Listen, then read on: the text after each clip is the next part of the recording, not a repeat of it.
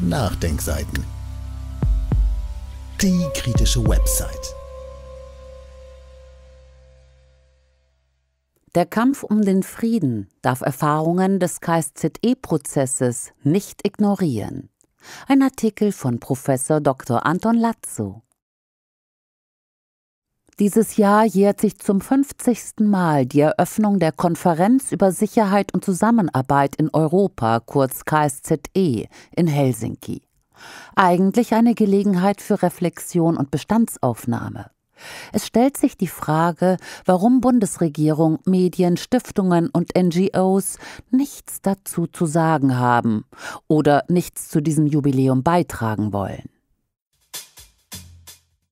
Die Ampelregierung hat bei ihrem Amtsantritt eine ominöse in Anführungszeichen Zeitenwende verkündet und kürzlich die erste außenpolitische Strategie der Bundesrepublik verabschiedet. Aber es herrscht Fehlanzeige, wenn es um die Erfahrungen aus dem KSZE-Prozess geht, der schließlich bisher historisch einmalig ist. Meinungsmacher, NGOs, Denkfabriken, Stiftungen und dergleichen sprechen dafür über den Westfälischen Frieden von 1648, den Wiener Kongress von 1815, vom sogenannten Europäischen Konzert und so weiter. Sie sprechen über Ereignisse, bei denen es Metternich und Co. darum ging, Versuche abzuwehren, die feudalen Verhältnisse abzulösen. Ist vielleicht auch bei den Apologeten kapitalistischer Verhältnisse die Erkenntnis gereift, dass sie heute mit einer ähnlichen Situation in Bezug auf den Kapitalismus konfrontiert sind? Oder wollen sie mit sogenannter Wissenschaft einfach ablenken? Warum sonst zeigt man sich gegenüber den historischen neuesten Erfahrungen, den Erfahrungen des KSZE-Prozesses so wenig oder gar kein Interesse? Sind die entlarvende Wirkung des Verlaufes und die Ergebnisse des KSZE-Prozesses und deren Analyse so stark, dass die Herrschenden sie fürchten müssen? Oder besteht die Gefahr, dass die Menschen, wenn sie den tatsächlichen Verlauf des KSZE-Prozesses zur Kenntnis nehmen, auch die Hintergründe der aktuellen Situation in Europa und in der Welt realistischer betrachten, Ursache und Wirkung besser einordnen können? Oder geht es einfach um die Verdummung der Menschen? Dafür gibt es zahlreiche Beispiele. Erstes Beispiel.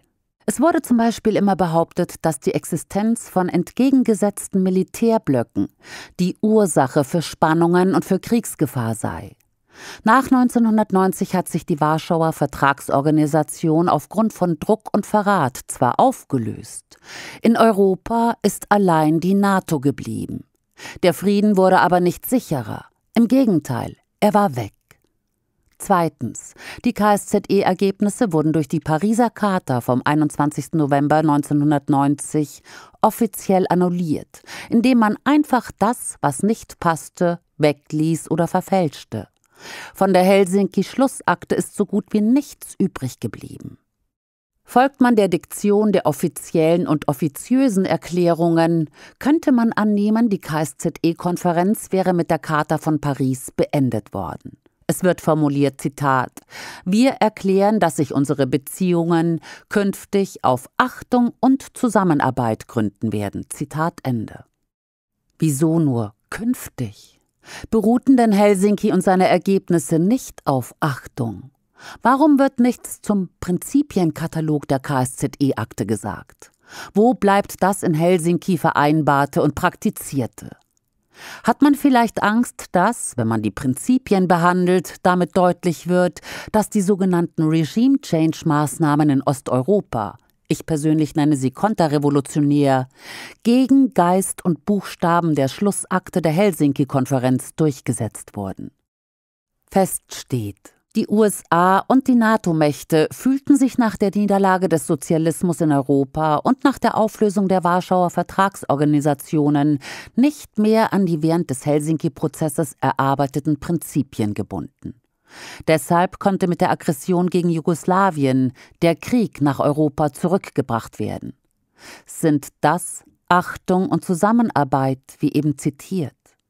Die USA übernahmen die alleinige Führung. Neue Ordnungskriege in verschiedenen Teilen der Welt wurden Wirklichkeit. Dabei setzten sie die NATO als ein Hauptinstrument ein. Der Konkurrenzkampf zwischen den imperialistischen Mächten spitzte sich zu. Russophobie wurde zur ideologischen Grundlage der Außenpolitik der NATO und EU-Mächte und beherrschte die Aktivitäten der OSZE. Die ideologische Auseinandersetzung wurde ausgeweitet. Die in Anführungszeichen Theoretiker der Konvergenz der Gesellschaftssysteme bemühten sich, den Menschen einzureden, dass der Kapitalismus seinen Ausbeutungscharakter überwunden habe bzw. überwinde. Das staatsmonopolistische Herrschaftssystem wurde in eine sogenannte pluralistische Demokratie umgefälscht, in der es keine Klassen und keinen Kampf zwischen ihnen mehr gäbe, sondern nur noch das Ringen der Interessengruppen um den Anteil am Sozialprodukt. Die Klassen wurden in soziale Gruppen umgedeutet, aus der Klassenstruktur wurde die soziale Gliederung. So wurde die Welt, in der Frieden und Sicherheit durchgesetzt werden sollten, in eine klassenlose Welt umgedeutet, in der Frieden und Sicherheit vom Hegemonen gewährleistet werden. Es wurde ein falsches Bild von der Realität gezeichnet. Frieden und Sicherheit seien in dieser Welt durch Wohlstand und durch den Hegemonen nach dem Muster des US-amerikanischen Way of Life zu gewährleisten. Der Anspruch der KSZE als Regulator der Ost-West-Auseinandersetzung, wie man es jetzt zu nennen pflegt, wurde damit beendet. Die sogenannte Chaostheorie wurde in den USA erfunden und über Stiftungen und derartige Strukturen in der Welt verbreitet und praktiziert. Das war und ist die sogenannte Friedenspolitik aller NATO. Sie hat die Ergebnisse des Helsinki-Prozesses abgeschafft. Sie brachte in Anführungszeichen friedliche Bedingungen, aber nicht für die Völker und zwischen den Staaten, sondern für die Verwirklichung der Interessen des Kapitals. Sie schuf günstige Bedingungen für seine Expansion sowie zur neokolonialen Ausbeutung der Völker. Es durfte keine Macht geben, die die Hegemonie der USA in Europa und weltweit in Frage stellt. Seit dem Ende der 1980er Jahre wurden diese Verhältnisse bestimmend für die Beziehungen zwischen den Staaten in Europa und darüber hinaus. Deshalb will man, dass die Konferenz für Sicherheit und Zusammenarbeit in Europa aus der Geschichte gestrichen bleibt. Die Eliminierung der Ereignisse und Erfahrungen, die dem Frieden, der Sicherheit und der Zusammenarbeit dienten, und die Implementierung fortschrittsfeindlicher russophober bzw. sinophober Positionen nannte und nennt man entideologisierte Politik. Ausrufezeichen. In der BRD sagt man auch Sachpolitik. Auch Mikhail Gorbatschow schrieb in seinem Buch Perestroika, es sei wichtig, über ideologische Unterschiede erhaben zu sein.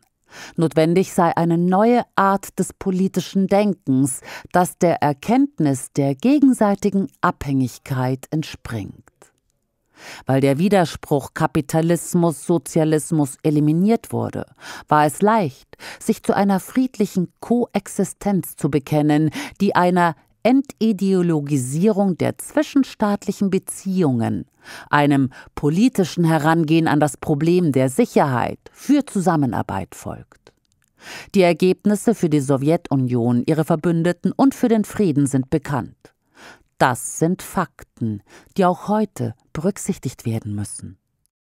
Eines stimmt. Es geht um Sachpolitik, um die Sache.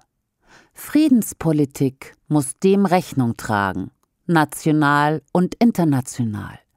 Wir brauchen auch national eine parteienübergreifende Zusammenarbeit, die die Friedenskräfte zusammenführt. Zweitens, es ist gut und notwendig, wenn die Friedensbewegung auf den friedengefährdende Ereignisse reagiert. Aber es ist unzureichend, auf einzelne Ereignisse zu reagieren, ohne sie in Zusammenhang mit den entscheidenden historischen Prozessen zu betrachten. Sie muss Prozesse und Probleme grundsätzlich analysieren und den Massen helfen, die tieferen gesellschaftlichen Zusammenhänge zu erkennen. Nie wäre es, wenn zum Beispiel beim Friedensrat oder woanders ein Gremium gebildet wird, das Diskussionen der Interessierten regelmäßig organisiert, um auch über strittige Fragen laufend und gemeinsam zu reflektieren. Eine Art Reflex- und Diskussionsclub über Friedensfragen. Das könnte sich positiv sowohl auf die Reaktionsfähigkeit der Bewegung im antiimperialistischen Kampf und auf die Entwicklung des Bündnisses der Friedensfreunde sowie auf die Festigkeit des Bündnisses auswirken.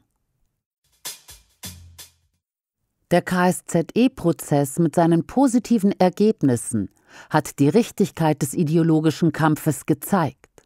Die Unvereinbarkeit der beiden Systeme und Ideologien war auch damals immer mit am Verhandlungstisch. Trotzdem war es möglich, Ergebnisse zu erzielen, die im Interesse aller beteiligter Staaten und deren Völker waren. Dazu gehört, dass zum Beispiel die Nachkriegsperiode zu einem gewissen Abschluss gebracht wurde.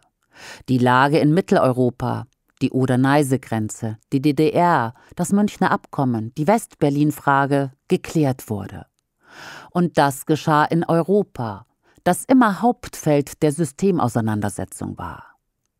Die Lage änderte sich erst, als Gorbatschow die Führung der UdSSR übernommen hatte und die genannten Positionen durchgesetzt wurden. Jetzt ging die Sowjetunion auf die Forderungen der NATO-Mächte ein, die sie bislang zurückgewiesen hatte.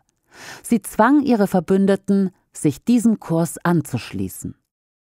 Das Zustandekommen und der Verlauf der KSZE erbrachten den Beweis, dass es bei gutem Willen aller Beteiligten möglich ist, einen tragbaren Kompromiss zu schließen, der Vorteile für alle Seiten brachte. Vor allem war es so möglich, Bedingungen zu schaffen, die Sicherheit boten und Zusammenarbeit zum gegenseitigen Vorteil ermöglichten.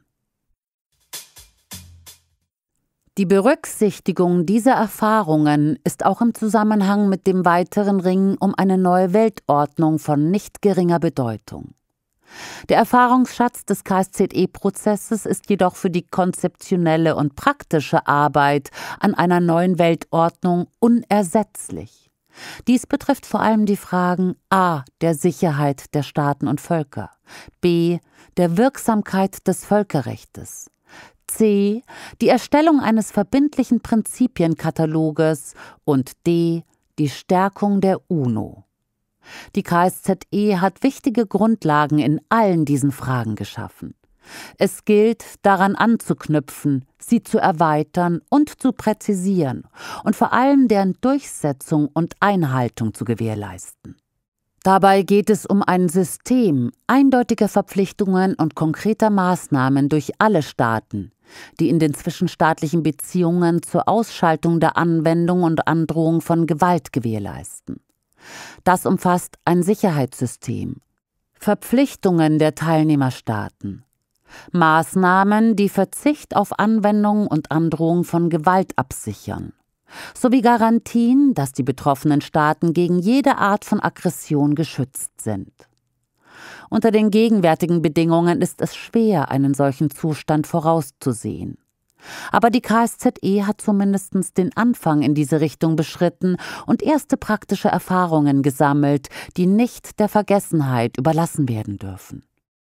Der Verlauf des KSZE-Prozesses hat auch gezeigt, dass rechtliche Regelungen allein für die Gewährleistung der Sicherheit der Staaten nicht ausreichend sind. Es bedarf konkreter Maßnahmen, die die Achtung der übernommenen Verpflichtungen gewährleistet. Wie die Prinzipien müssen auch die Maßnahmen universellen Charakter haben und das gesamte Feld der zwischenstaatlichen Beziehungen, die politischen, rechtlichen, militärischen, wirtschaftlichen und kulturellen Beziehungen umfassen. Neben zahlreichen anderen Aspekten möchte ich die Bedeutung der Erfahrungen unterstreichen, die von der KSZE bei der Erarbeitung der Normen und Verfahren für die multilaterale Verhandlungsführung und Beschlussfassung gesammelt wurden. Dazu gehört das Recht jedes Staates, an allen Verhandlungen und Beschlussfassungen gleichberechtigt teilzunehmen. Das schließt ein, dass die Verhandlungen und Aktionen außerhalb der Militärbündnisse stattfinden. Die Teilnahme der Staaten an den Arbeiten auf der Grundlage der souveränen Gleichheit hat die Anwendung des Konsensus zur Folge. Der Anfang bei der Gestaltung des BRICS zeigt, ebenso wie der KSZE-Prozess, dass auch diese globale Struktur nicht durch einen einmaligen Akt geschaffen werden kann, sondern als Prozess gesehen werden muss. Er ist nicht das Ergebnis einer subjektiven Eingebung, sondern ergibt sich aus der Wirkung, aus dem Druck von Notwendigkeiten.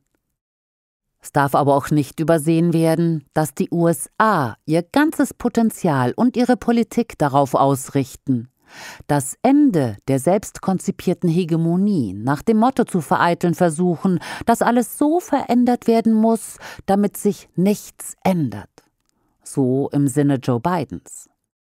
Das bezieht sich auf die Eingrenzung Chinas und Russlands, die Begrenzung der Entwicklung der eigenen Bündnispartner, um in der Konkurrenz, nicht in der Zusammenarbeit, Sieger zu bleiben. Dies findet unter Bedingungen statt, unter denen die neuen Mächte in Asien, Afrika und Lateinamerika nicht mehr bedingungslos allen Vorgaben des Hegemonen folgen. Die Aussage, dass Politik die Kunst des Möglichen ist, gewinnt unter solchen Bedingungen neue Valenzen. Man kann aber auch feststellen, die Bedingungen für die Politik des Friedens, der Sicherheit und gleichberechtigten Zusammenarbeit verändern sich. Der Kampf wird aber nicht einfacher. Lassen Sie mich abschließend feststellen. Friedensbewegungen und die BRICS-Staaten müssen gleichermaßen die Lektion des KSZE-Prozesses lernen. Der KSZE-Prozess kann durch die BRICS revitalisiert werden. Und die Friedensbewegung wird nur so erfolgreich sein, wie sie auch diese Erfahrungen achtet. Dieser Artikel beruht auf einem Beitrag für die Internationale Konferenz des Deutschen Friedensrates e.V., die am 28. September 2023 gehalten wurde. Auf dem Titelbild, das aus dem Bundesarchiv stammt, sind Helmut Schmidt, Erich Honecker, Gerald Ford und Bruno Kreisky zu sehen, die das KSZE-Abschlussdokument unterzeichnen. Leonid Brezhnev als Unterzeichner für die UdSSR ist nicht im Bild. Quellenangaben und weiterführende Verlinkungen finden Sie auf www.nachdenkseiten.de oder im Beschreibungstext unter dem YouTube-Podcast. Dieses Audio konnte nur entstehen, weil zahlreiche Leser und Leserinnen die Nachdenkseiten fördern und durch Spenden unterstützen. Wenn Sie auch etwas tun wollen, klicken Sie einfach den entsprechenden Button auf unserer Website an. Übrigens, Sie können uns auch bei iTunes, SoundCloud und YouTube hören und wenn Sie mögen, gerne unseren Kanal abonnieren und eine positive Bewertung für uns abgeben. Wir freuen uns über Ihre Unterstützung und die Weiterverbreitung unserer Inhalte.